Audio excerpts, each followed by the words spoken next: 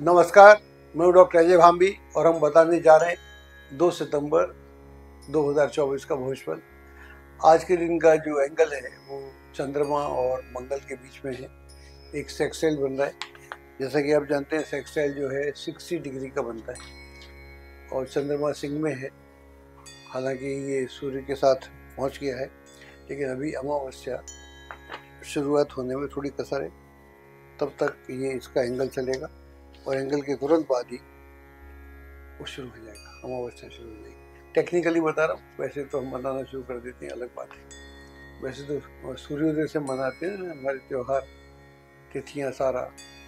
लेकिन एक्चुअली में आकाश में कैसे बनता है, वो मैं उसकी बात कर रहा हूँ। तो ये एक जो सिक्सटी डिग्री का एंगल है, ये बहुत अच्छा है। मंगल यानी आपका ऊर्जा ऊर्जा को रिप्रेजेंट करता है। आप ऊर्जावान बनाता है।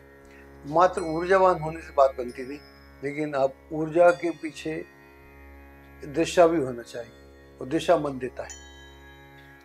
मन, कई बार दिशाहीन भी करता है, लेकिन दिशा देता है। मंगल साथ में हो, एंगल बढ़िया बनता हो तो दिशा परफेक्ट होती है। तो जिस भी दिशा में आप गति करना चाहते हैं, जिस भी दिशा में आप जाना चाहते हैं, या अपनी ज़िंदगी को जिस जिस भी दिशा में लेके जाना चाहते हैं, या जो भी कार्य आपके लिए उचित है, अनुकूल है, और आप चाहते हैं कि ऐसा करने से आपको लाभ होना चाहिए तो वैसा आप कीजिएगा तो आपको लाभ होगा।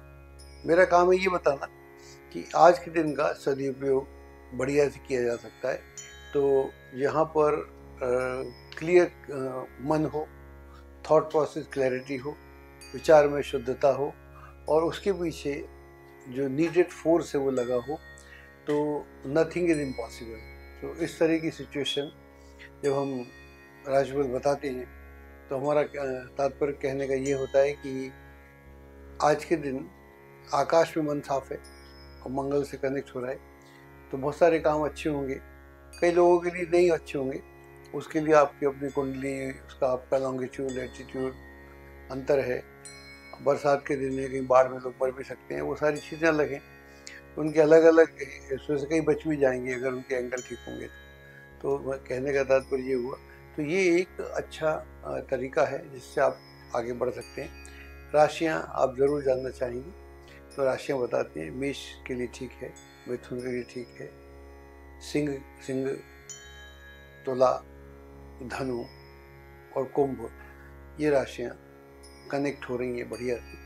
तो इन राशियों के जो भी लोग हैं, आप अगर लोग हैं तो उसमें आपको राहत मिलेगी, आपके लिए दिन एकदम शुद्ध शुद्ध और शुभ हो एस्ट्रोलॉजी की सटीक जानकारी के लिए विश्वविख्यात एस्ट्रोलॉजर अजय भाम्बी के यूट्यूब चैनल एबीसी चैनल को सब्सक्राइब लाइक और शेयर करें।